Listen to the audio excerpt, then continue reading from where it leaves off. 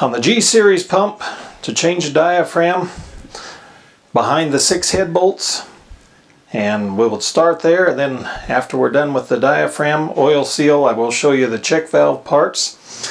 Uh, half inch wrench we'll take the head off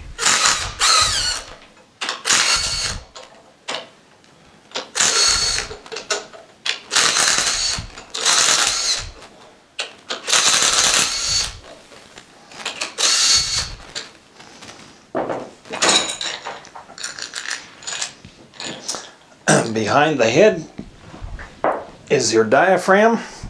Consists of three parts, the cap nut, the Teflon diaphragm, and behind that is a stainless backing nut.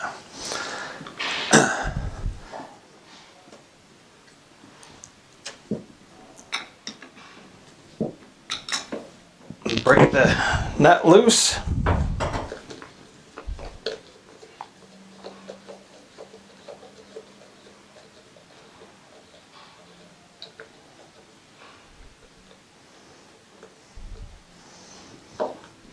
Takes out the diaphragm.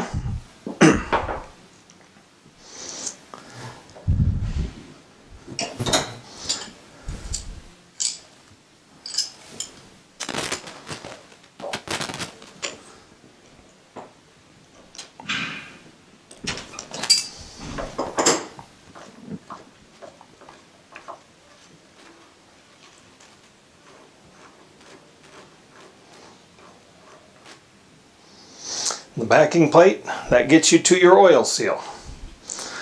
We will go to that next. If you need to replace the oil seal there's four small screws holding an aluminum ring on the outside one retaining ring holding a small aluminum ring on the inside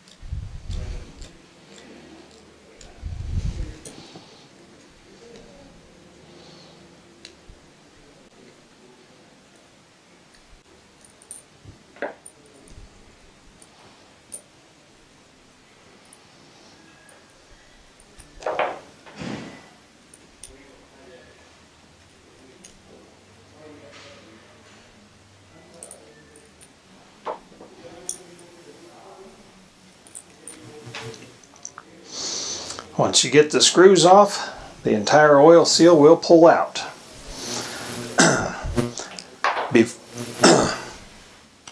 Usually if there is a problem with the oil seal, you will have oil dripping out through a weep hole, so you know it needs to be replaced. If you have a problem with the diaphragm, you will have fertilizer dripping out through this weep hole. To replace it, your new diaphragm or oil seal slips over the shaft. Just line up your holes on the outside ring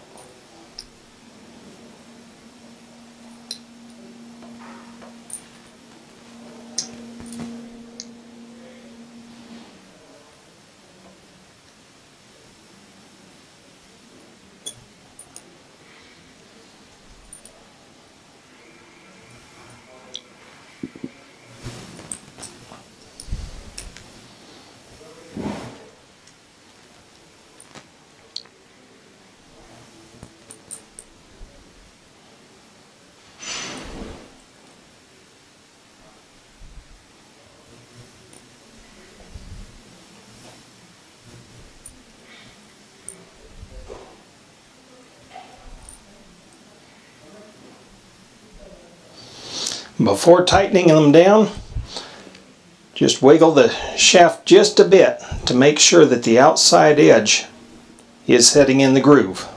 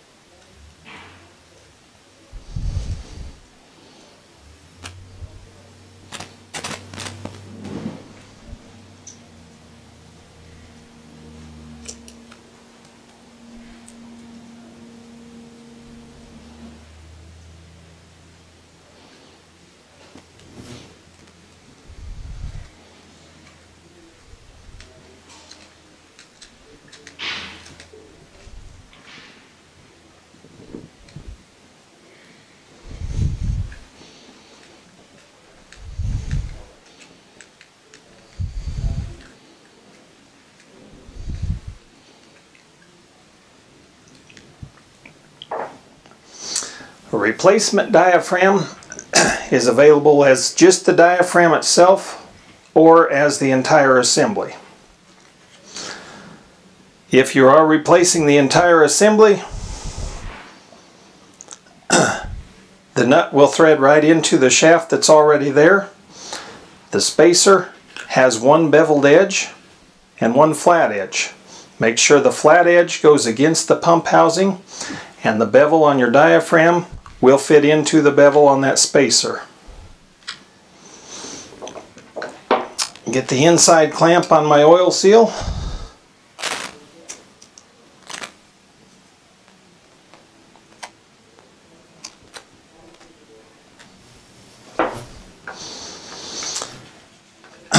Holding the spacer in place, I'm going to thread the new assembly in.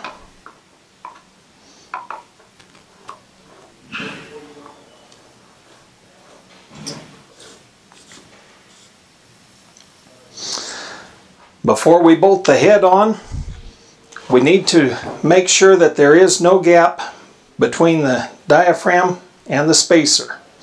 To do that, we need to turn the shaft all the way in, and we'll take the motor cover off and just spin the fan.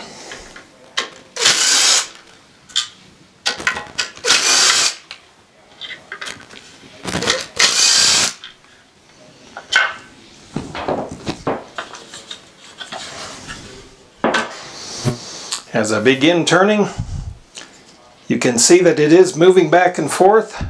We are set at a low percentage, so there isn't much movement. If I turn that knob out farther,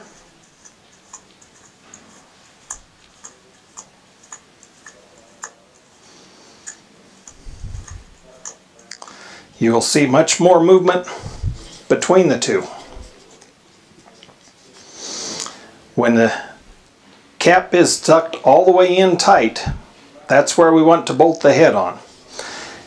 If it is out, leaving a gap, and we bolt the head on, it will roll the outside edge of that Teflon diaphragm and crimp in the wrong place. So always make sure it's all the way in tight before we bolt the head in place.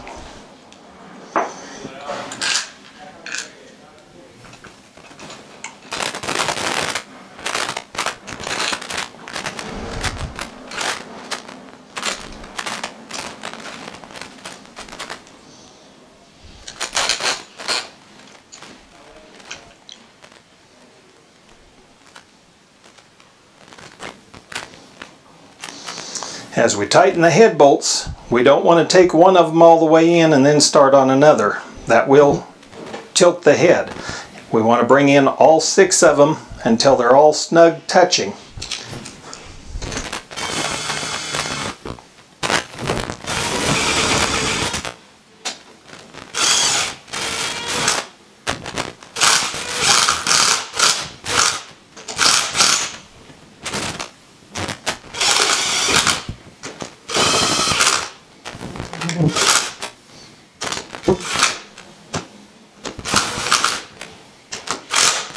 Once they're all touching, then we can tighten down.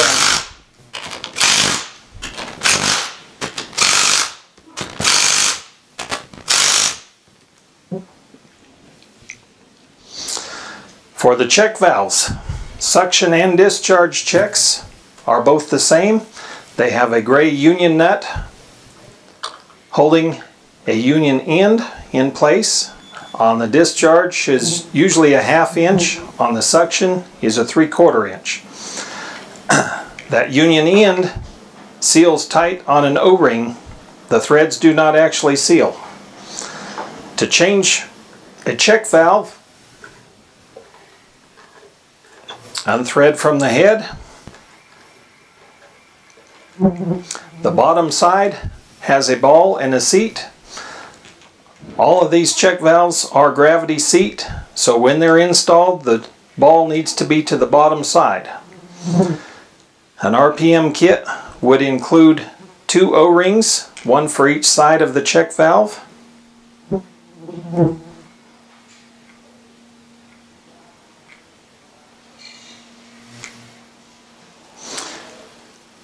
May need a scribe hook to get that one out. The kit would also include a new seat and a new ball. To get the ball out, it is a pressed in fitting, a small punch, put in the outside triangles opposite sides and tapping. This one came out fairly easy. Sometimes you will need to tap them. The seat will have one beveled edge and one flat edge. The ball always sets on the flat edge. The beveled edge has a recessed area to hold the O-ring in place. With your new ball and seat, reusing the same housing, you would drop the ball in place, push the seat in,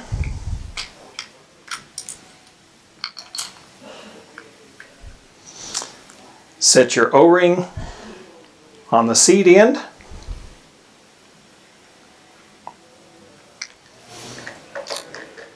Rethread into the head and also replace the O-ring on the top side.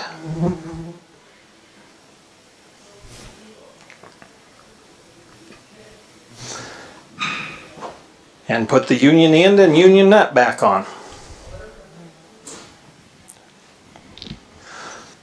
Tools needed for repair on a G-pump would be an 11 16 wrench for the oil drain plug,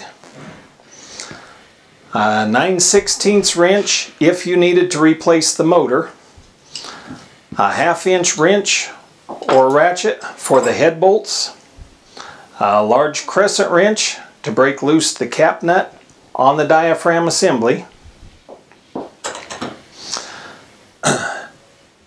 small pair of uh, snap ring pliers for the oil seal, a small straight screwdriver for the oil seal, your small punch for changing the ball and seat, uh, possibly may need a pair of channel locks if the diaph or check valve was over tightened but they should not need to be tightened other than hand tight. Union nut and check valves seal only with the O-ring, so they do not need to be tightened. If you have a leak, you need to replace the O-ring rather than tighten the check valve tighter.